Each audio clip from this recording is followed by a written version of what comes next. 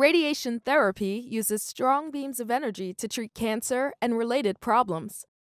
The radiation energy is focused like a beam of light from a flashlight. Instead of affecting the whole body, radiation treats just the area where the beam of energy hits. Not everyone who has cancer will need radiation. Your doctor's decision to recommend radiation therapy depends on the type and stage of cancer and other health problems you might have. Sometimes other treatments like surgery, chemotherapy, hormones, or targeted therapy may be given along with radiation. Other times, radiation may be needed before or after other types of cancer treatment. There are different types of radiation treatment. The most common is external beam radiation. This is a lot like getting an x ray. A machine is used to aim the radiation beam right where the tumor is.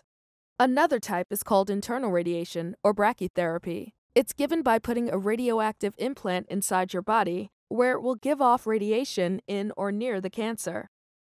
The type of radiation you need depends on the kind of cancer you have and where it is. Sometimes more than one type is used.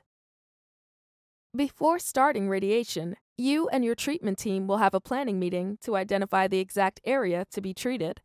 Ask your cancer care team about the type of radiation you're getting and when treatment should start. Also, ask what your treatment schedule will be. How long your treatment lasts and how often you get treatment will depend on the type and stage of your cancer, the type of radiation you're getting, and how your body responds to it. For example, a patient might get radiation five times a week for several weeks. It usually takes just a few minutes each day once treatment has started.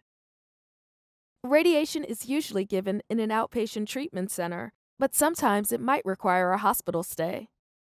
Ask what to expect during and after treatment and about any safety precautions you might need to follow to help protect yourself and the people around you.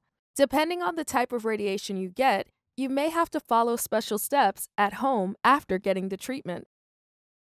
Not everyone responds the same way to radiation. Side effects are different for each person. Some of the most common are extreme tiredness, skin changes, hair loss, mouth sores, or low blood counts.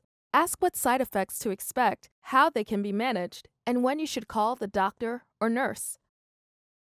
To learn more, visit cancer.org/treatment or call the American Cancer Society helpline at 800-227-2345 to speak with a cancer information specialist.